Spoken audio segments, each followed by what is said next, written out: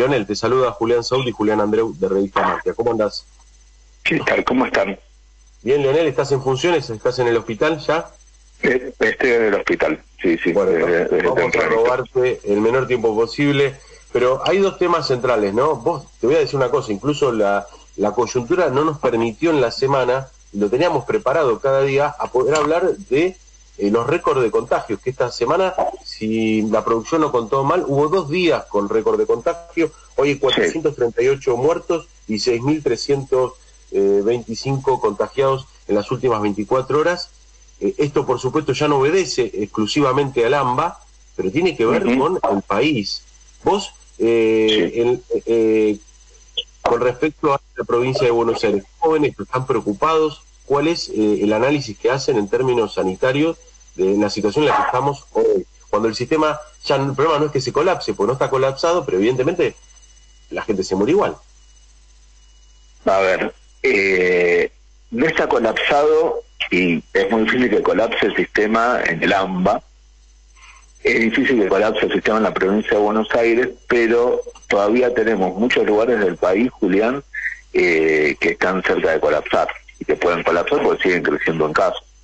¿Y por qué, ¿y por qué las eh, autoridades no lo dicen así? Bueno, vos no sos responsable de esto, digo, pero tan claramente.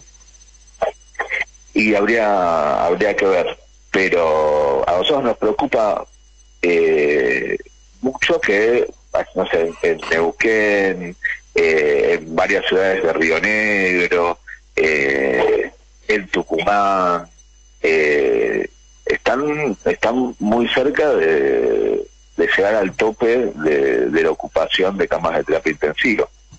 Y, eso, si bien no, no va a pasar acá, eh, son lugares del país donde todavía están expuestos al, riesgo de tener que decidir a quién le van a dar el respirador a quién no. Bueno, e-, eso en Jujuy ha pasado, ha pasado por, por situaciones así hace, hace un par de semanas. Es, interesante, ¿no? Hacer esta división y entender todo el trabajo que se hizo en el ambas no se hizo en el interior del país. Y eso en todo caso habría que ver, eh, más allá de repartir culpas, no se trata de eso de acá de señalar a nadie, pero evidentemente se pensó que en el interior no iba a suceder esto que está sucediendo. Eh, según los análisis, vos también identificás que la cantidad de muertos por millón de habitantes aumentó significativamente en las últimas seis semanas. Bueno, sí, eso aparte eh, fue una, una noticia eh, fuerte que salió en todos lados, esto que hace ya eh, un par de semanas estamos en el primer en el primer lugar en el mundo de eh, muertos diarios por millón de habitantes. eso quiere decir que estamos ante una aceleración de la cantidad de muertos que, que es complicadísima y eso es algo que bueno ya, ya lo venía advirtiendo eh, Alberto Kornblitz, Jorge Aliaga, eh, que tal vez no, no son, no vienen de los modelos matemáticos, vienen de otras disciplinas, pero que venían estudiando la, la curva, eh, que nosotros en, a nivel país tenemos eh, una tasa de duplicación de la cantidad de muertes que no varía prácticamente desde el principio de la cuarentena, y entre nosotros, nosotros entre 23 y, 23 y 26 días estamos duplicando la cantidad de muertes. Esto es lo que hace que haya gente que, que, está planteando que si seguimos así, vamos a llegar a la Navidad con 40.000 muertos. Eh, es, y la verdad es que eh, mientras no tengamos eh, vacuna y mientras no haya un tratamiento que, pueda curar o evitar que la gente se muera de, COVID-19, la única forma de, frenar eh, eh, esta, esta cantidad tan grande de muertos que tenemos es bajar la cantidad de casos. Ahora, pero discúlpame, Lionel, discúlpame, vos me contestarás lo que puedas, pero vos sos eh, sos parte de, los que asesoran al, gobernador y me imagino que también asesoran en términos de la información que circula por el Ministerio de Nación. ¿Te, ¿Te acordás del botón rojo? ¿No es un momento para en el interior, digo, yo entiendo que tenga costos políticos para el gobierno, mira lo que te, concedo, te lo regalo, en la ciudad de Buenos Aires, y que a usted les costó la cantidad de contagios que tiene, pero no, no podemos hablar de eso, porque aparte es contrafáctico. Pero la verdad que se podría haber controlado mucho mejor, eh, porque no les importó a las, a las autoridades de la ciudad de Buenos Aires abrir y desmadrar todo sabiendo que se iba a complicar más la provincia de Buenos Aires que la ciudad. Pero eso es otro tema y lo dejamos para otro lado. Ahora, ¿qué costo político tiene apretar el botón rojo para que, eh, para que las provincias del interior eh, vuelvan a foja cero en términos de cantidad de contagios? Digo, ¿se está hablando de esto o no? Déjame tranquilo, por lo menos. Yo sé que Clarín no lo va a titular, pero ¿están pensando en cortar el chorro un mes, por lo menos, 15 días? La cosa, Julián, es que la última conferencia de prensa fue algo bastante parecido al, al botón rojo para estas provincias que, para las 18 provincias que, que se definió que haya un corte drástico en la, en la circulación. Eh, fue muy fue desparejo el, la respuesta por parte de las provincias. Eh, ah, hubo provincias que dijeron eh, directamente no iban a iban a acatar eh, esta, indicación del gobierno nacional, eh, como Mendoza, o hubo provincias que aunque hayan dicho que sí, eh, terminaron no haciéndolo. Eh, así que es muy, muy, muy eh, complicado y, eh, por más que el gobierno nacional pueda eh, indicar algo, los que los únicos que pueden implementar este tipo de decisiones son los gobiernos provinciales. y hubo, la verdad, una, una, una respuesta muy muy despareja a esto que fue bastante parecido a, a un botón rojo. Y sabemos que, por más que se utilice la figura, eh, no, no hay algo parecido, no sé, al freno de emergencia puedes encontrar en, en los trenes o en el sur. Pero el presidente de Francia, eh, escúchame, Leonel, el presidente de Francia declaró el estado de sitio y ahí que le va a discutir, no lo declaró en la capital parisina, lo declaró en, Francia, está bien en un horario, tantos meses, Digo, acá llegas a proponer eso y sos poco menos que, no sé, eh, Pinochet, digo, eh, o Hitler, ¿no? Bueno, utilizando la, vulgaridad a veces que, utiliza el periodismo para, para comparar.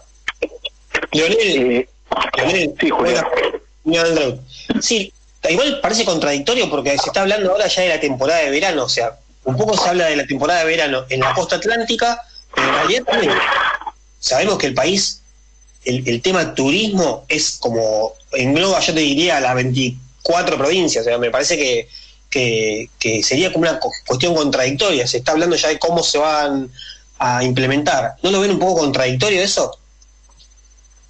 Mira, eh, primero quería, quería contestarle eh, lo que decía Julián sobre la comparación con Francia.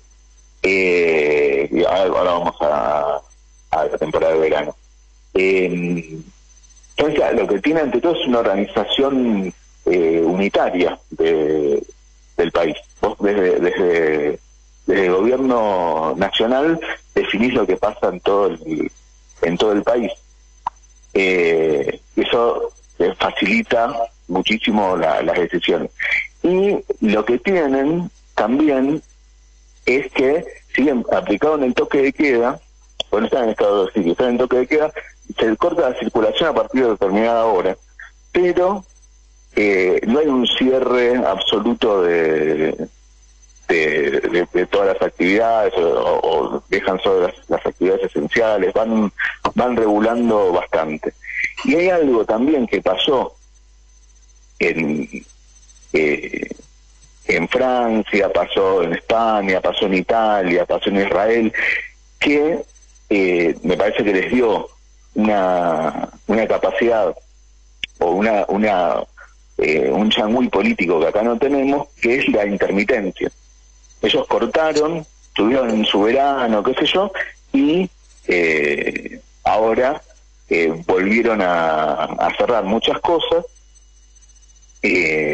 pero eh, se generó esta, esta idea de que se había terminado una, una cuarentena y, y empezó y empezó otra.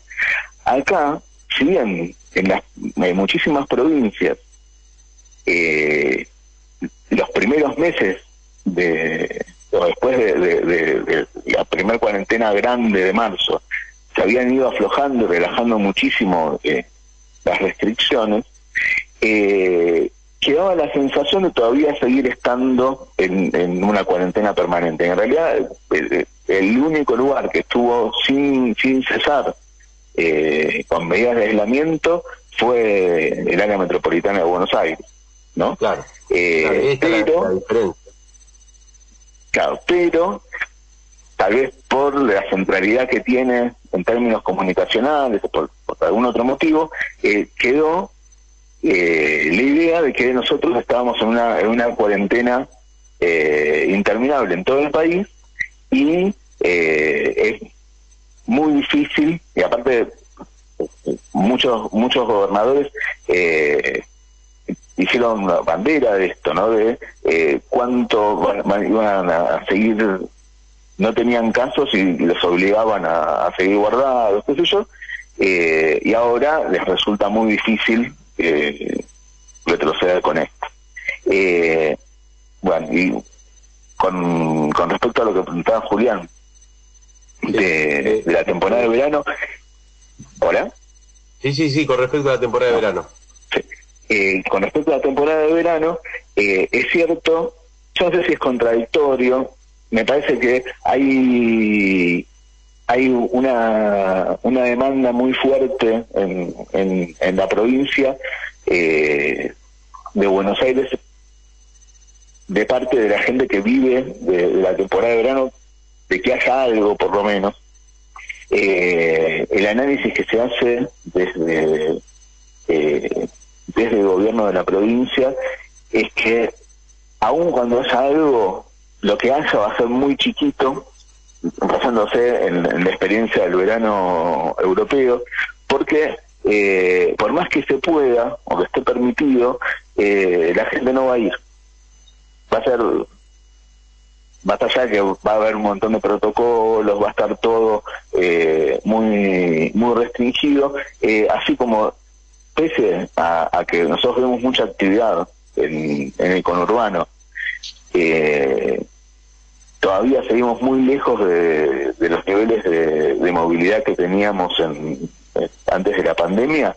Eh, es muy probable que, que la gente no se anime a ir, que la gente, que los propietarios no se animen a poner en, en alquiler eh, sus propiedades eh, y que la temporada sea, aunque exista, sea mucho más eh, modesta de, de, de lo que puede ser una temporada eh, mala eh, en circunstancias normales. Eh, Igual, Leonel, te digo, eh, ent- entiendo eso. Yo, yo eh, ayer estuve dando vueltas eh, por ahí en algún centro comercial como es eh, Acoite y Rivadavia, digo, para poner un barrio eh, comercial de, Ca- de Caballito, y estaban los locales cerra- eh, abiertos, perdón, y no había nadie. De hecho, eh, me llamó la atención de pararme en una vidriera a mirar y que un comerciante me venga a tratar de meter adentro, algo imposible. Entrá. No existe eso acá. O sea, eso, eh, eh, en, en- en el nivel de desesperación, ¿entendés la situación? Digo, era la empleada, como la mirada del dueño decía, andá y agarrá a ese tipo y metelo acá adentro. Entonces, yo lo que te digo es, ahora, eso no significa que los medios y que un grupo de la, de la población que considera que, que, que tiene los recursos, que tiene el auto, que puede pagar la for porque, escúchame, alquilar se está alquilando igual, eh, por lo menos el precio está en dólares o precios eh, eh, ilógicos, pero hay gente que lo puede pagar, puede pagar dos mil dólares, estoy diciendo en serio, ¿eh? un mes, mil quinientos dólares, dos mil dólares, una, en una quinta si querés, porque por ahí no tiene que ver solo con ir a la playa. Pero vos querés que no va a haber una imagen de una playa llena de gente, un día de sol, Mira, puede ser que haya algún fin de semana. ahora lo dejamos grabado. playa. No, pero seguro. Es muy Seguro. probable que un fin de semana haya una playa llena de gente. Pero eso es lo que pasa aún en temporadas muy flojas, Totalmente. eh, porque lo- los mismos residentes de las ciudades balnearias salen a la playa, porque eh, capaz vienen de, ciudades cercanas, hay,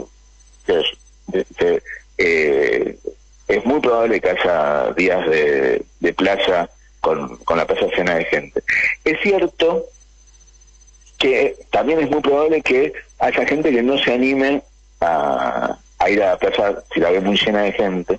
Y también es cierto que eh, la plaza en sí, como, como espacio físico, eh, es menos peligrosa que los boliches, los cines, los teatros, los restaurantes, que los fichines, que son lugares libre, está bien. Exactamente.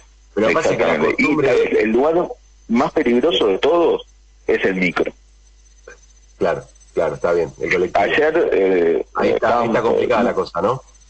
Y mira, en, en este momento, eh, el protocolo que está aprobado eh, dice que pueden viajar 37 personas por micro. Eh, ayer eh, comentaba Sebastián Uchitel, que es uno de los, de los, miembros del, del, comité de asesores, eh, que si nosotros tenemos más o menos una, una prevalencia del 5% a nivel nacional, 5% quiere decir que eh, el 5% de, de la población, o 5 de cada 100 personas, eh, tiene coronavirus, eh, y hay 37 personas en un micro, hay un 85% de probabilidades de que una de esas 37 personas eh, tenga coronavirus. Quiere decir que alto. es muy alto, muy alto. Quiere decir que, eh, y obviamente eso es a nivel país, pero a nivel país vos tenés una, una eh, dilución de, la prevalencia, porque en la ciudad de Buenos Aires, que tal vez sea el principal origen de, los micros que, salen hacia la costa, eh, es mucho más alta. En Rosario y en Córdoba Capital es mucho más alta, que son, son los lugares de donde sale la gente de vacación. Eh, entonces, viajar en micro en la temporada de verano tiene que quedar claro que es peligroso.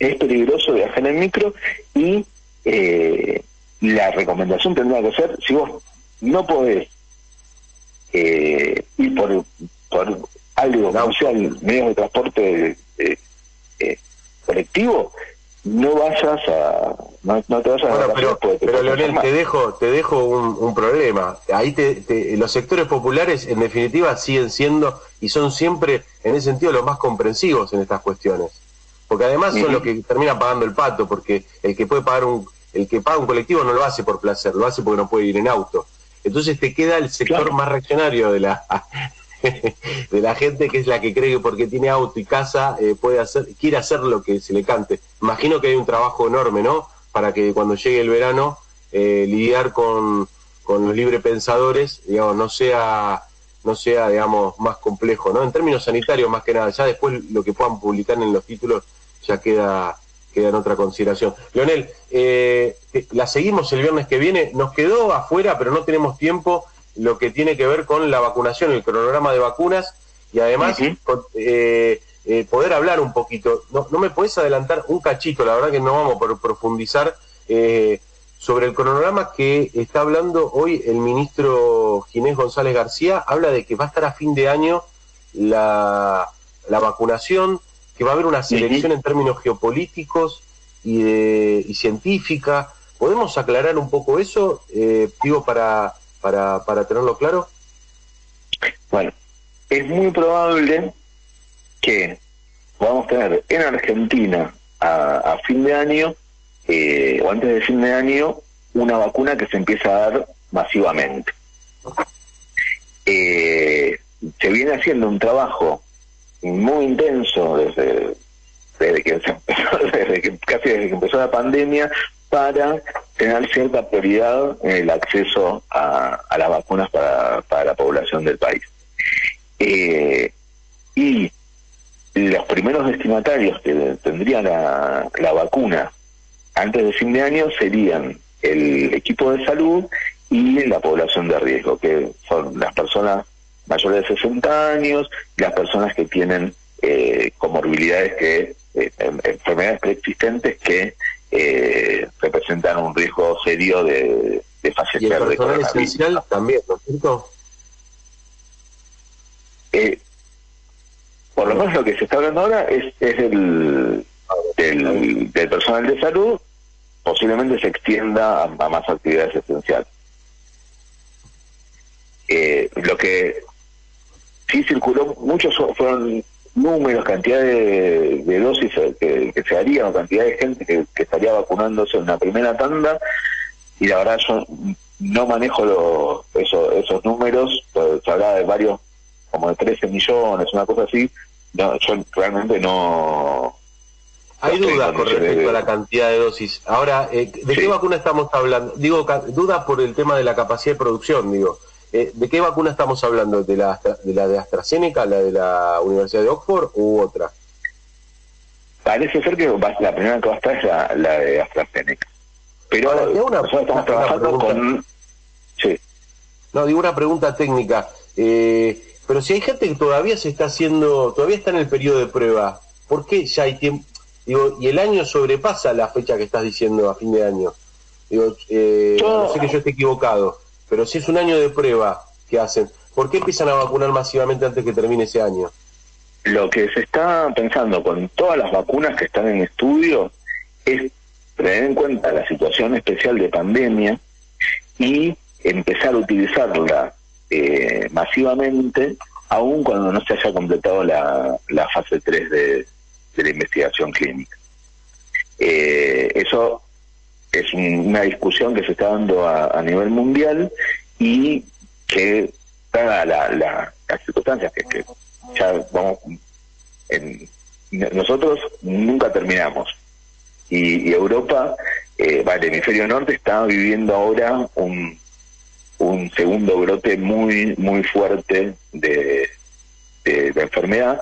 Es muy probable que aún sin haber concluido la, la fase 3, se, autorice la, la utilización de, de estas vacunas.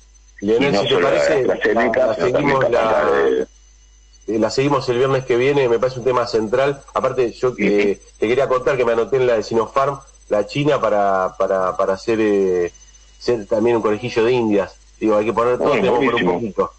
Bueno, pero la hablamos el viernes que viene. Me parece un tema interesante para, para entender, digo, y que la gente me imagino también está preocupada, porque siempre las conversaciones ahora es el clima y cuándo llega la vacuna. Con eso habla de todo el mundo. Así que, Leonel, la seguimos el viernes que viene. Un abrazo enorme. Suerte a todo el equipo. Abrazo grande. Que anden bien. Chao, chao.